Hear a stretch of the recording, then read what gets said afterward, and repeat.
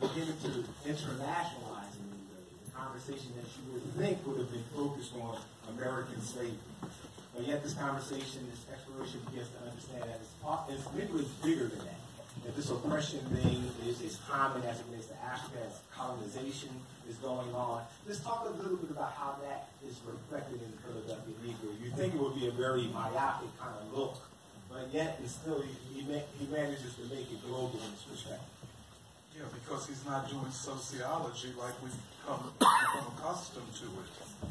Uh, what sociology has become, like John said, is a, quote, discipline, uh, a prison of the mind. And he was interested in understanding the problem. Uh, you know, the world was saying that black people were the problem. And he said in his famous essay on the study of the pro- problems of the Negro that black people are not the problem, black people have problems. And, um, and you know, from the beginning, uh, and this goes back to his uh, founding with Alexander Crummell and Andrew Cooper and others of the American Negro Academy in 1897, about the same time he's here in Philadelphia. And, uh, you know, he sees black people as a part of a great uh, African and African diaspora. In fact, he says at that time that African Americans are a civilization in potentiality. So he was not even looking at nation.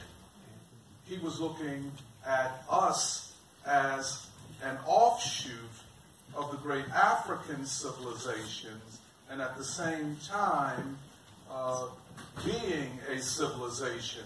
And in fact, I think that is a far more profound and accurate way to talk about us. So when you take the Philadelphia Negro, when he talks about the church and he talks about it is Africa in America, uh, he has already taken it beyond, uh, quote, America.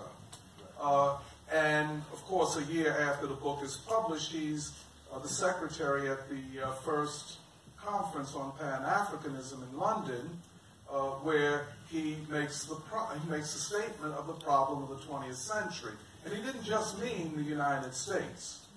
He meant the problem of modernity was the problem of race and racial oppression, which includes colonialism. And I think he makes this statement, and I'll stop here, in the Philadelphia Negro, that once uh, enslavement is ended in this country, it is transported to Africa. That the colonial system in Africa was itself a system of enslavement. So he was always looking, well, let me put it this way, he, citizenship for him was not the final goal. Civil rights for him was not the final goal. It was a part of a larger project of the liberation of Africans as part of the project of the liberation of humanity. And so he comes up finally with this concept of the unity of Pan Africa and Pan Asia against Europe. Dynamic stuff. Dr. I'm